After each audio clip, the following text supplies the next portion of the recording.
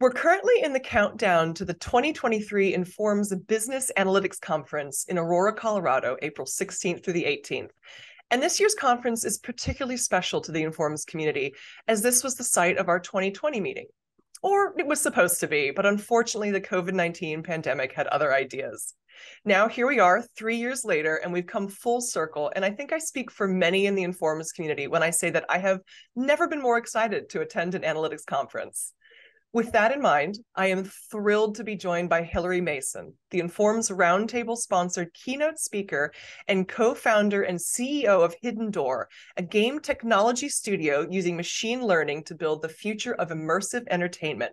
We're taking this opportunity to get to know Hilary a little bit, talk about her analytics journey and get a sneak peek at what she'll be presenting at the upcoming conference. So, Hilary, oh my gosh, it's such a pleasure to speak with you. Thank you. I'm really excited to get to be here this morning. So, as I mentioned in my opening, you are both the co founder and CEO of Hidden Door. So, you've been part of this machine learning based approach to immersive entertainment, which honestly sounds really cool and interesting. uh, since the beginning.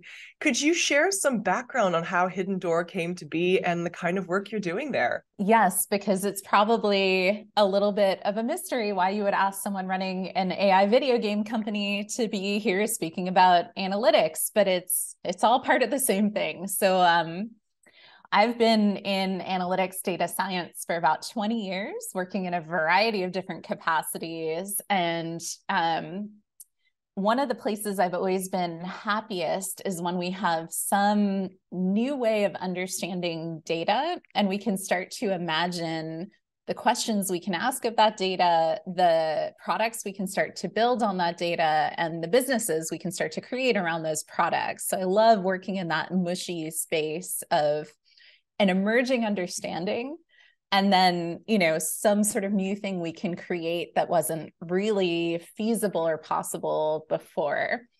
So what we're doing at Hidden Door's uh, taking any work of fiction whether it's a movie a tv show a novel and making it a playable social game that you can play with your friends. It's web based it uses a ton of pretty cool machine learning uh, under the hood.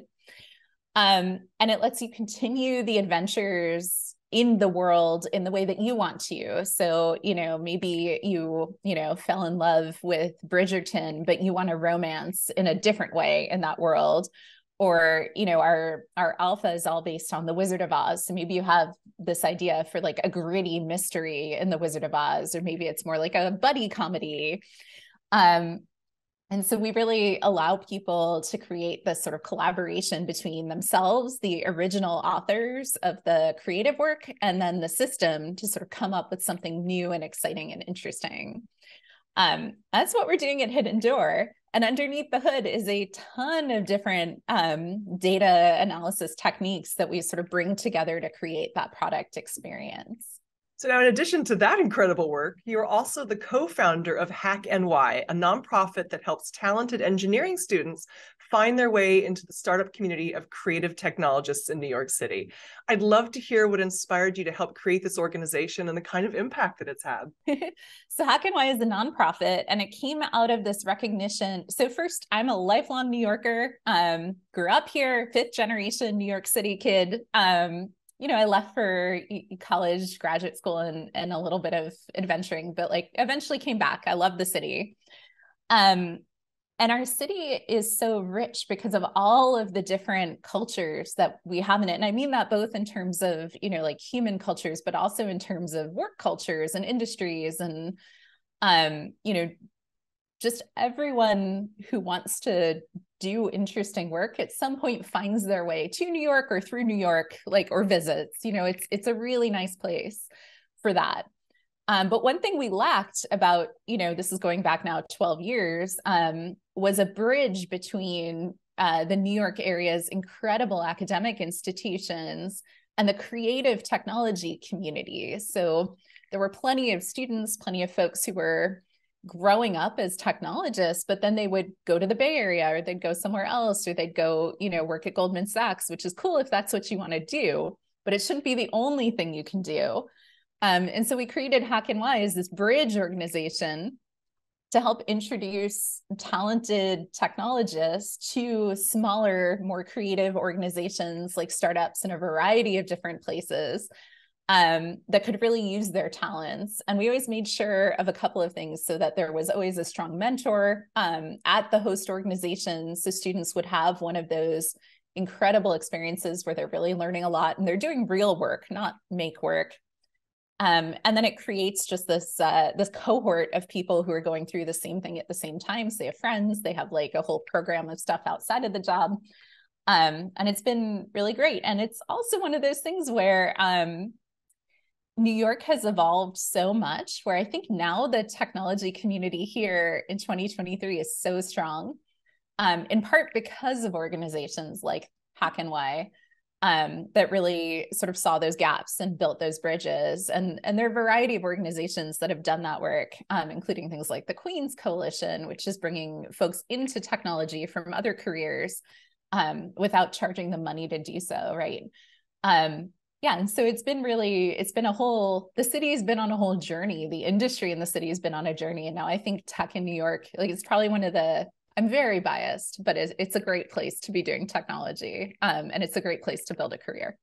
So now, in addition to your work with Hidden Door and Hack NY, you've had roles with Accel Partners, Fast Forward Labs, and Bitly. You also serve as co-host of Data Gotham, are an advisor for multiple companies, and even served on New York City Mayor Bloomberg's Technology and Innovation Advisory Council. Of all of these different roles and experiences, do you have a favorite project or memory or maybe even a challenge that you overcame but still resonates with you today? It's funny because um, what this your mini biography of me is telling me is more that um, i just get into a lot of trouble. Um, i tend to follow the things that are most interesting at the moment so i'm going to try to organize these a bit in space and time um, in the sense of like I started as an academic, was a you know CS professor focusing on machine learning 20ish years ago. Uh, eventually left to work at a startup that failed and then went to work at Bitly, which was, you may know it for short links on the social web. Um, and at the time, you know, I joined, my role was really one of like, okay, our product, we've raised some money. We have this product that lets people make short links and share them and get analytics we don't really know where to go next. So, can you invent the future of the product and the business through the data assets we have? This was again starting in 2009, when, to be frank, we didn't really understand fully the potential of social media and its impacts on society. We were really just starting as a community to lay the groundwork of analysis of that kind of data.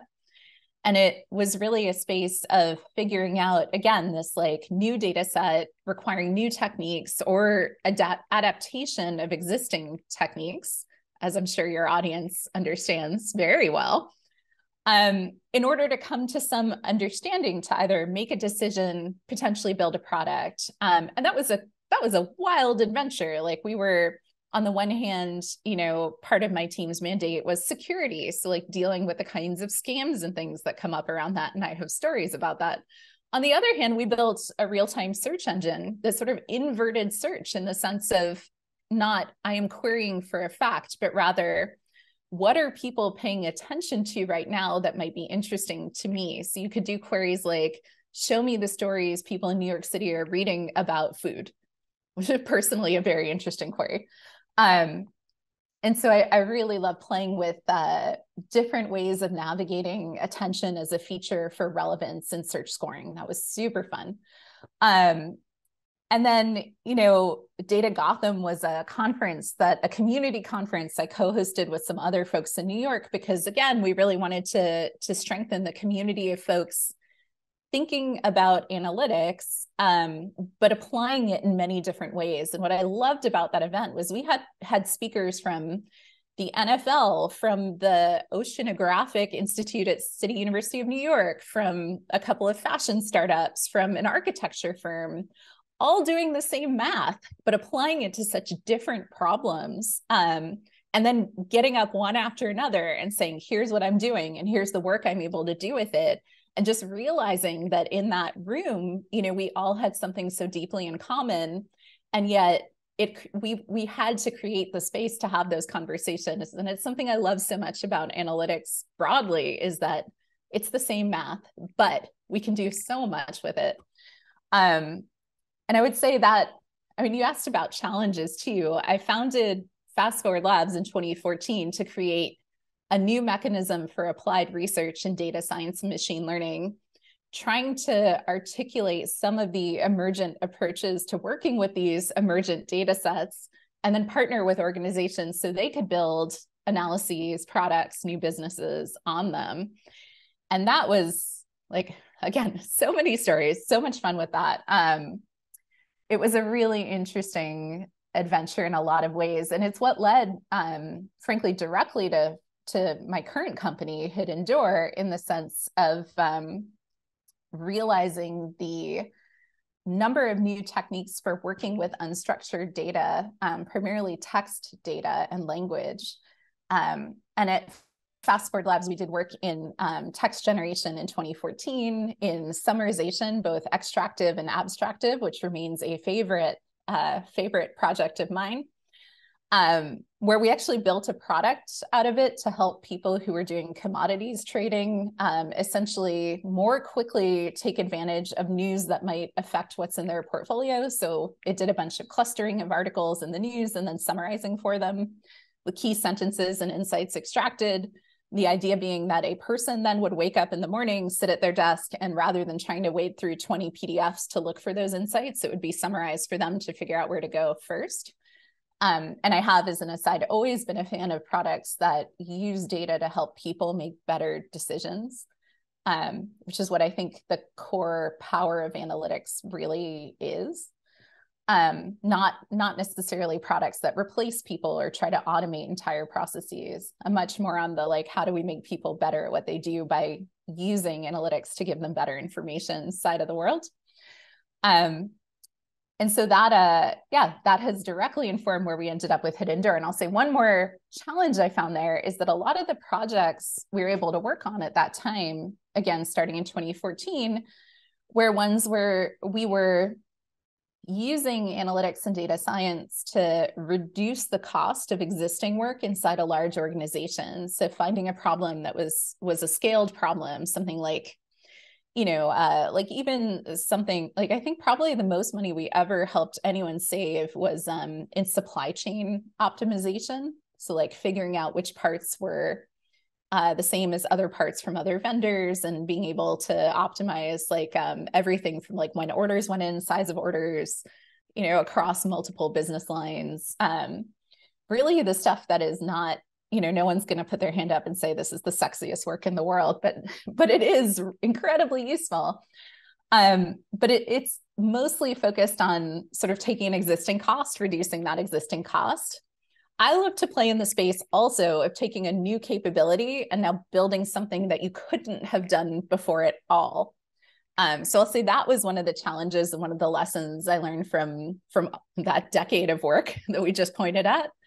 Um, and that one of the things I'm most excited about going forward from here is that opportunity to take some of what we're learning today, the new techniques, the new data we have access to, to start to think about the kinds of experiences, the kinds of things we might understand that we don't currently have a robust data driven understanding for and then what what we can do with that that's new so at the time of this recording we're coming up on international women's day on march 8th and informs is participating in this year's theme embrace equity we've all been taking our embrace equity selfies and have gotten oodles from our members which has been super exciting I'd love to hear about ways that you have both felt embraced and supported in this ORMS data science community, and likewise ways you try to help others to feel included too.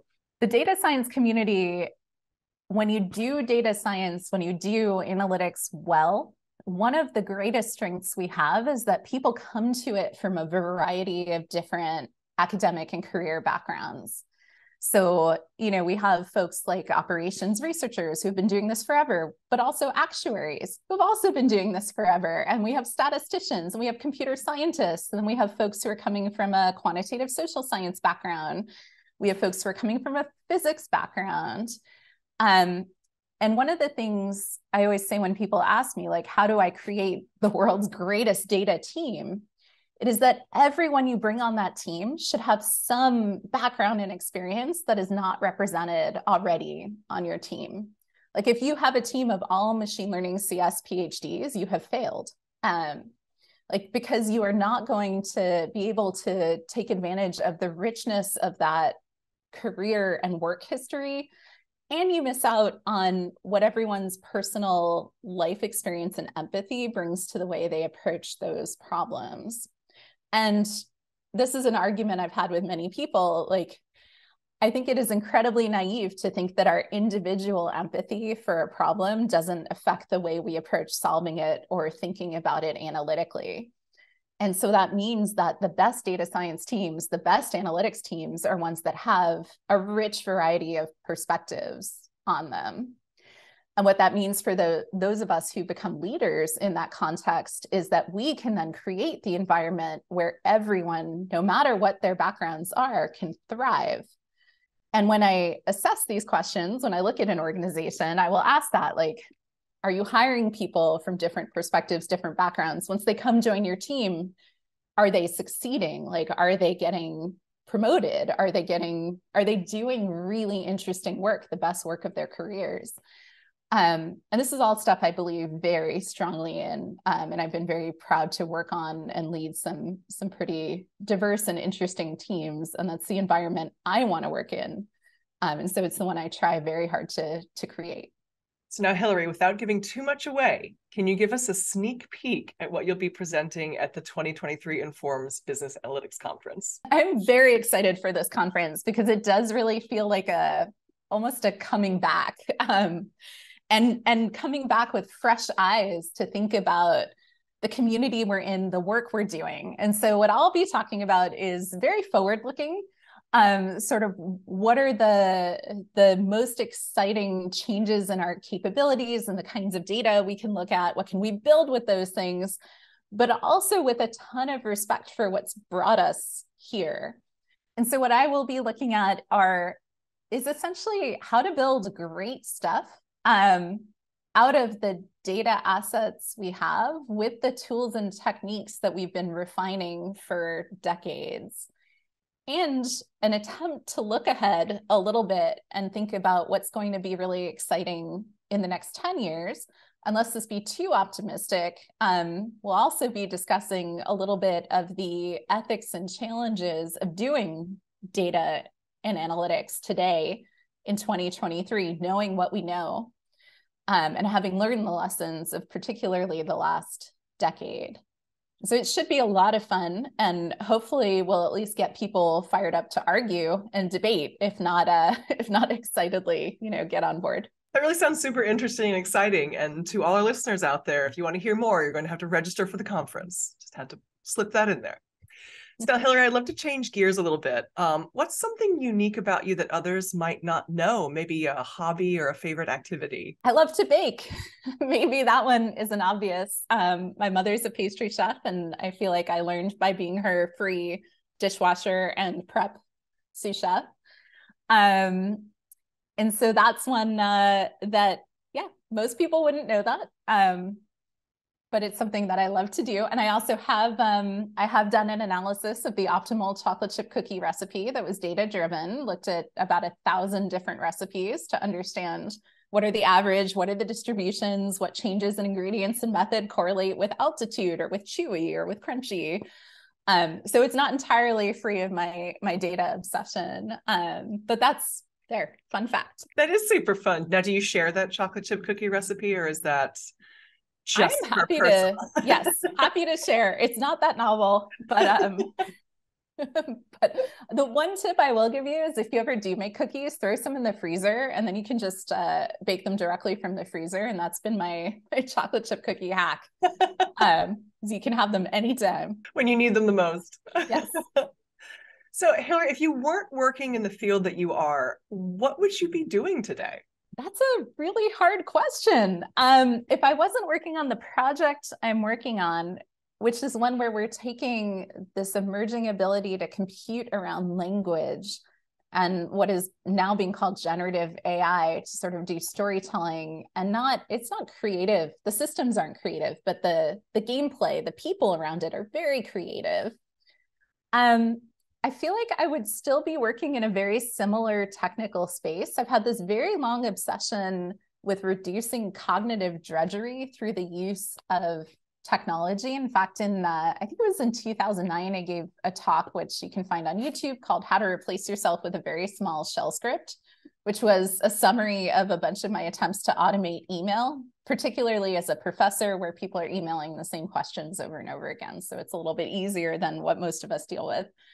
Um, but yeah, it's uh, I'd probably be doing something like that. I really love being in that space where I get to build something that hasn't been built before. And some of these things are tremendous failures. And like you build it and then you realize, like, oh, there's a reason no one ever built this. Um, and I've had a bunch of those. Um, but also some of them are really, you know, a step to something new and fun. Um, and that's generally where I'm happiest. So, in our conversation today, we've covered a wide range of your roles and activities, of which there are quite a few. Um, of all of your accomplishments, either big or small, is there one that you are particularly proud of, or perhaps the most proud of? I mean, it's going back to the question you asked about International Women's Day, but it's broader than just gender. It's really trying to use the leverage I have to create the environment, frankly, that I want to work in and where everyone can thrive because the work we do is so much more rewarding and the output of it is just so much richer and better when we allow people to be themselves and to really be challenged to do amazing work to ha- to have the support of a team. Um and so i think and maybe this maybe i've grown up like i think uh you know my my ambition is not to build a rocket ship. It's really to to build that kind of organization and to normalize it so it becomes everybody's idea this sort of you know inclusive supportive organization of what working should be like. Um, and there are a lot of challenges to doing this of course and like doing it remotely is a whole new thing now um, or semi-remote for some folks. Uh, but it's one that that i think about a lot so, Hilary, I'd love to hear what's next for you. Um, what big goal do you still hope to conquer in the future? I mean, what we're doing at Hidden Door, we are creating a new kind of entertainment experience. And it feels to me like the inevitable future of fandom that when you love something, you want to bring it home with you. You want to live inside of it. You want to tell your own stories in it. And that is the thing that uh, that I just can't get out of my head. It, it's going to be a lot of fun. So, Hilary, thank you so much again for taking time to chat with me. And I, for one, cannot wait to see you in Colorado in just a few weeks at this